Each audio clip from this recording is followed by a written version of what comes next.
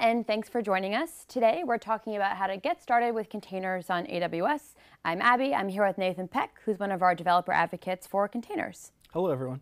Um, so first off, can you tell us what are containers and what are some, some reasons that folks might be using them? Yeah, so containers are one of the most popular technologies for building a modern application because they provide a really easy way to package up your application and its dependencies and then distribute that application and operate it in the cloud, um, locally, wherever you want to run that application uh, without a lot of overhead. So super portable. Exactly. Awesome. Um, can you tell me a little bit about how I can work with containers on AWS?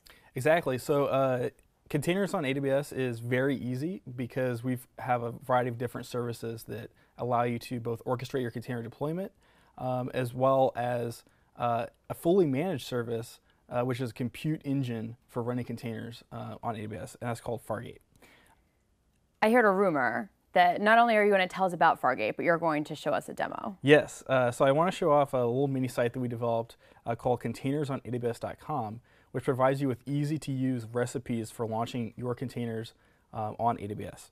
And so if you go to this website, there's a section for architecture patterns, and the first pattern is one of the most popular patterns, a simple public-facing uh, application container. So if I click on this, you can see a diagram of what this looks like, a little load balancer attached to a container, and just serving up that web page. So I want to launch this application uh, container uh, on AWS, and so I just click the launch button, and it brings me to AWS CloudFormation console with a preformed template that will make it easier for me to launch an application.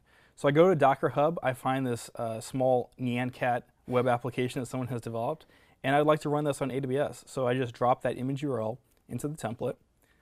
I name the service that I want to launch,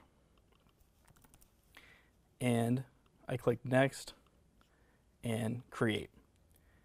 And so then if I go to my load balancer and check the URL that I set up earlier, I see a simple Nyan Cat application running in the cloud.